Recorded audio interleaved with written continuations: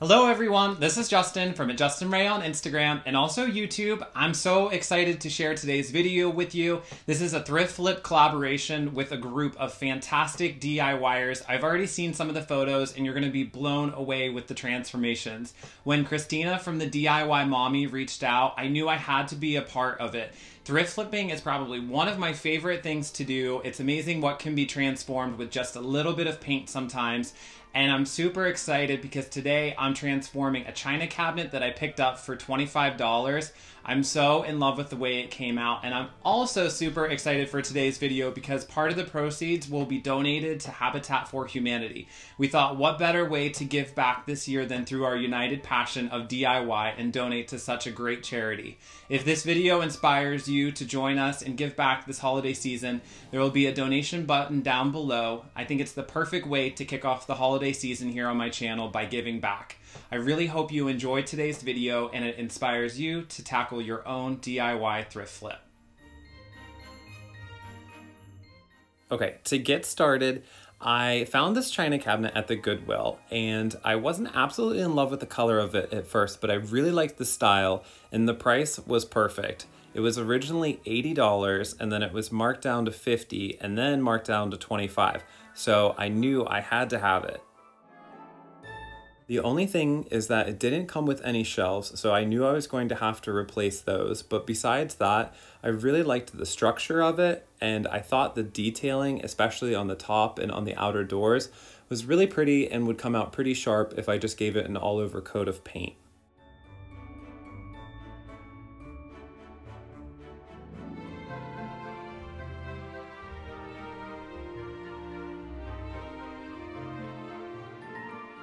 And like you see, it came a little dirty, so that's what we're gonna do next is go ahead and clean it up.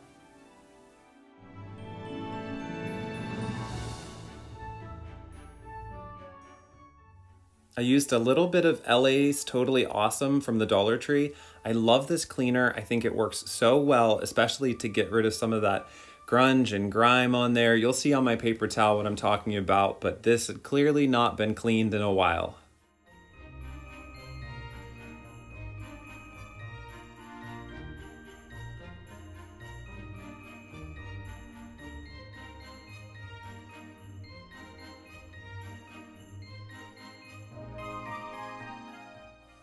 And unfortunately, the contact paper did end up getting removed, but I think it looks a little bit nicer after.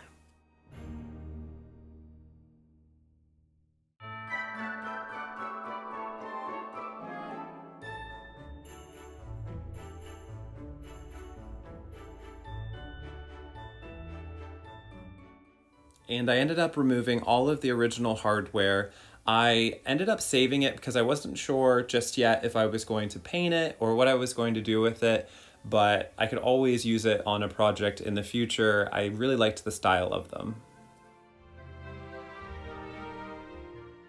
And with my little sanding block from the Dollar Tree, I love these things. For a buck, you can't go wrong. They're perfect for projects like this. I just went all over the outside of the project and roughed up the surface so the paint could adhere to it.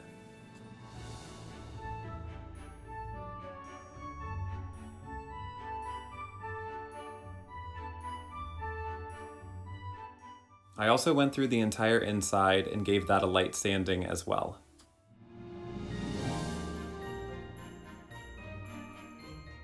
And now that our piece has been completely cleaned and lightly sanded and all the hardware removed, we're ready for the next step where we're gonna go ahead and put on a layer of primer.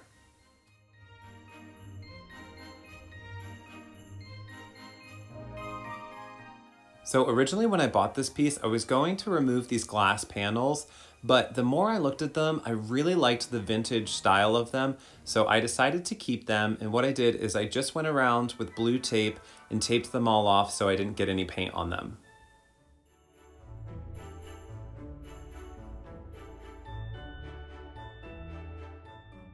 Oh, and I wanted to say I'm sorry about all the reflections of the messy dining room in the background. I'm kind of in the process of redoing it, restyling it. So kind of everything's spread right now while I'm working on this project. So sorry about the mess in the background.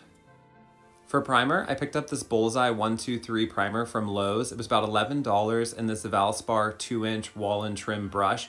These are about $6. I love these brushes. I think they work so well for projects like this where you need to get into all the nooks and crannies. I highly recommend it. So next time you're at Lowe's, make sure you pick one up.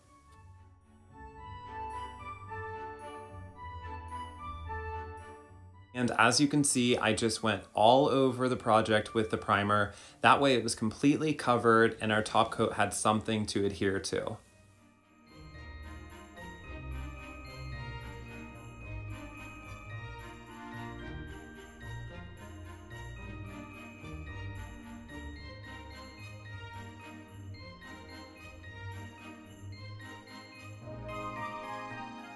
Also, what I loved about this primer is that it dries in an hour, so you don't have that much wait time with it. And it also really helped to keep down the odor.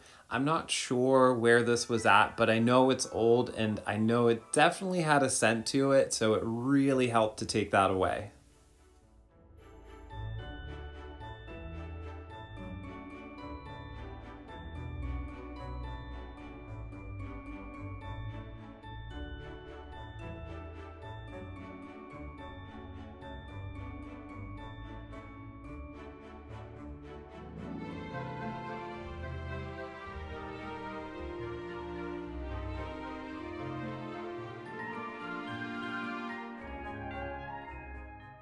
Also, go ahead and give the entire inside a good coat of this.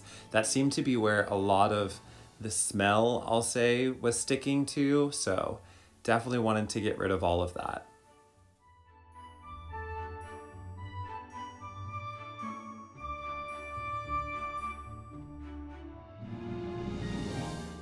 Okay, so now that we have the piece completely primed, it's time for the fun part. And I use this Krylon Color Max acrylic latex in satin black for this project. I love this paint. I used it in my last video in the flat version, and it's just such a nice thick coat of paint. And I think this black color is really pretty.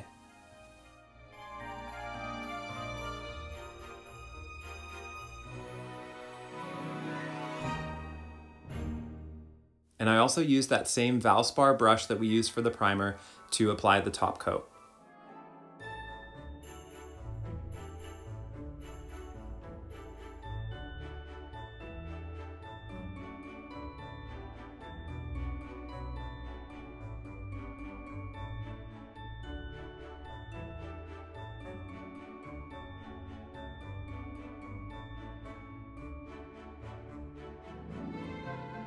I also picked up this little foam roller from Lowe's. This works so well for all the flat surfaces on this project. It really gives it a nice smooth coat.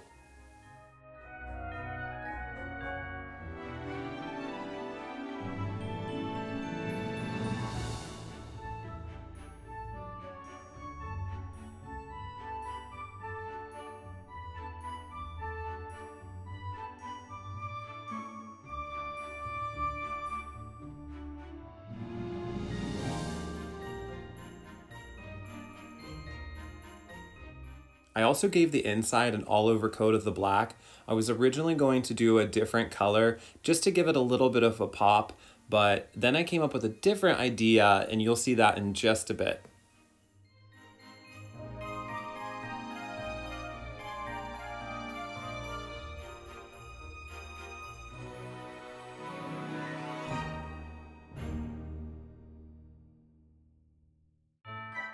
You can kind of start to see my idea come together with the mixture of the black and the gold, a little bit of vintage and modern. I'm loving the way that this is coming out.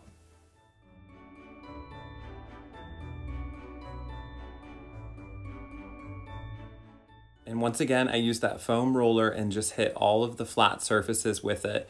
Pretty much anything that was raised up, I kind of went over and hit with it just to kind of give it a nice smooth texture on the top.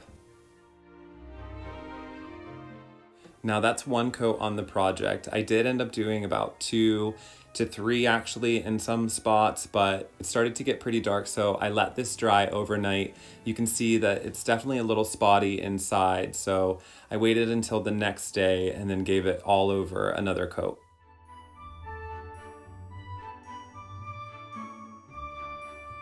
So once that base coat dried, I just went back through with the same brush and gave it another coat and covered in all those little white marks. The good thing about this paint is that the more you layer it, the less you can see the brush strokes and it ends up having a really nice finish. And for some of the smaller spots, I just went back through with a small brush and gave those a touch up.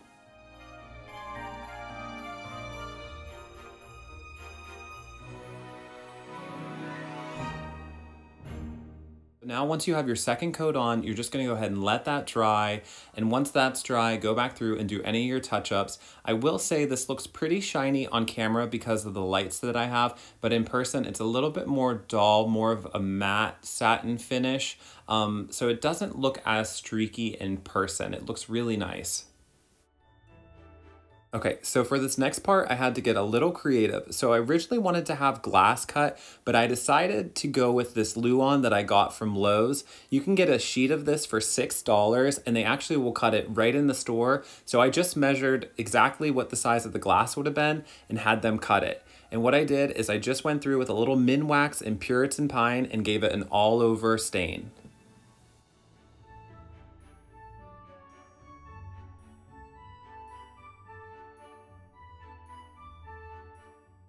I love the stain color. I've used it on projects in the past, and this is what I was talking about earlier with giving the shelves a little bit of a pop. I think this is gonna look really nice against the black.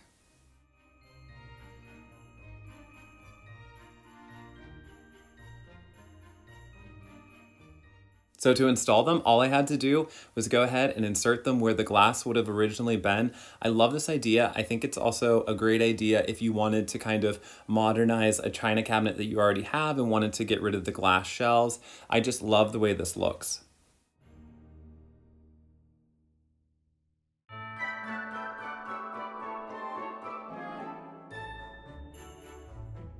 Okay, so I know I said in the beginning I might repaint the hardware, but Vevano Home sent me these beautiful knobs and they're only $4 on their website, which I'll link down below. And I think that this is just gonna give it the perfect modern touch. I love the way these look.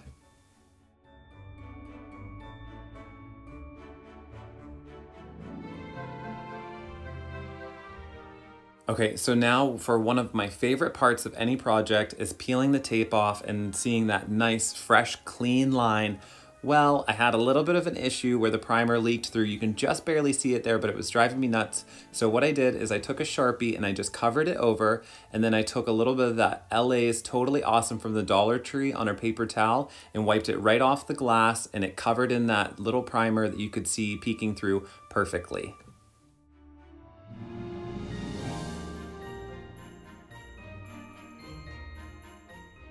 Okay, so I decided to give the shelves a little bit more pizzazz, so I picked up these puck lights on Amazon from Elfeland. They were about $19 and you get six of them, and they come with these little sticky pads, so all you have to do is stick them under the shelves, and I think it just gives it that extra special little touch.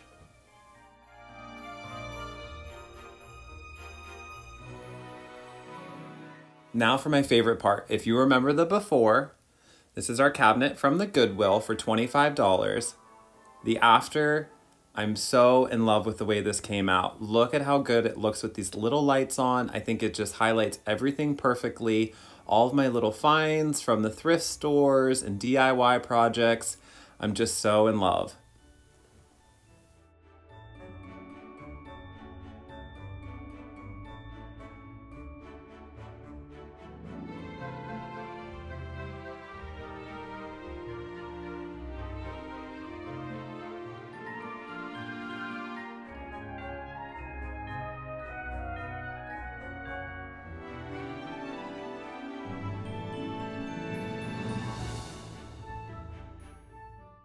I hope you enjoyed the video. Thank you all so much for watching and make sure you check out the other transformations. The playlist is in my description box. I had such a great time flipping this cabinet and for such a good cause.